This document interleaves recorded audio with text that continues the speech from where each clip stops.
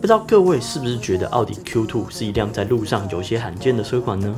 事实上，光得知改款后 Q2 它值一百四十九万起的车价，还有这一辆私家车突破一百九十万的身价，我想大家对于它的罕见应该不会感到意外。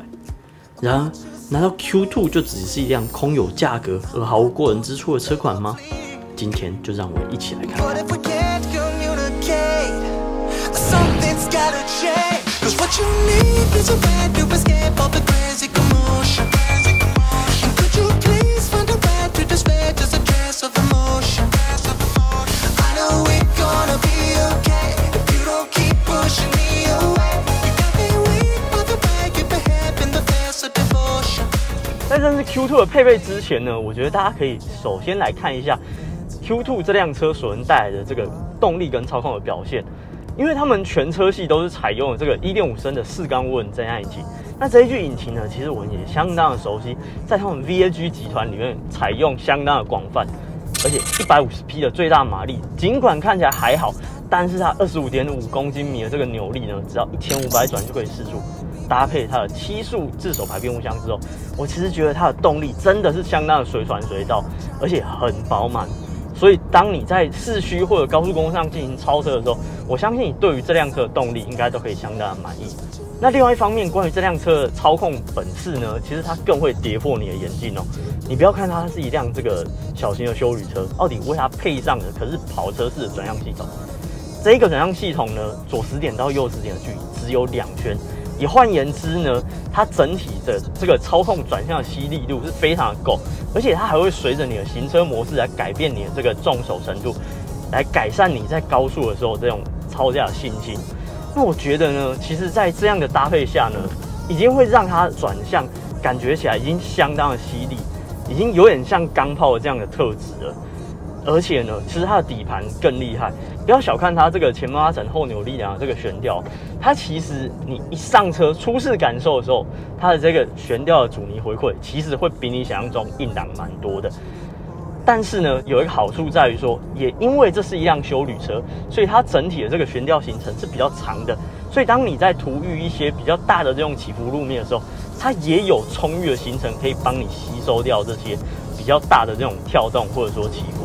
所以我真的会觉得，哇，这辆车尽管看起来是一辆非常时尚的修旅车，但是它在弯道上还有山道上的表现可能会出乎你的意料。那如果要跟各位介绍一下这辆车的配备，这辆车除了已经有选配相当多的十八寸铝圈等等这些个性化的套件之外呢，在改款的车型上，前后保杆的造型也有进行更动。另外一方面呢，它在水箱护罩上上面也多了一个致敬他们过去赛车的这种类似三进气口的这种小小的点缀设计。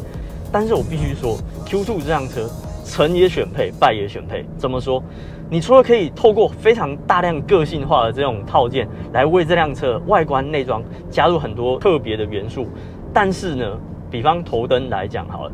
我没有想到它拥有三点四的日行灯的这个巨头灯，既然是选配，如果没有这个头灯，改款之后的这种视觉的变革，就会让我感觉更小了一些。那此外，在内装，我其实不是非常在意说天窗要选配这辆车没有后座冷气中风口这些小小的地方，我更在意的是奥迪它是一个非常强调科技化的品牌。那么呢，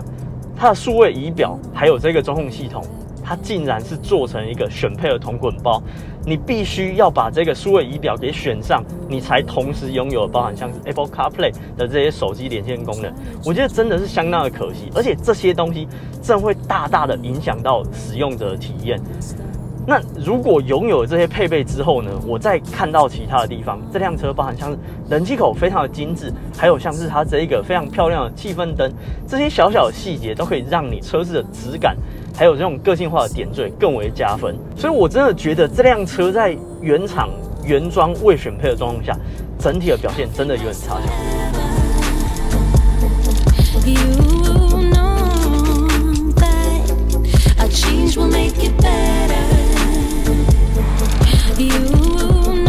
那么在影片的最后，我想大家都有一个问题：究竟在三大德系的豪华品牌之间，我们该怎么选？首先，Mercedes-Benz 的 GLA 那辆车，很多人都觉得说它是最均衡的设定，但是呢，其实在路上的能见度真的很高，所以我会认为它没那么特别。据 B N W X2 这辆车够特别，但是呢，它的安全配备却不及我们今天所试驾的奥迪 Q2。那么今天试驾的车款车上呢，或许你会需要花费比较高的金额进行各式的选配件的这一个提升，但是它却能带给你最具个人化的这一个设定，所以我认为奥迪 Q2 则是这三台车之中最特别的选择。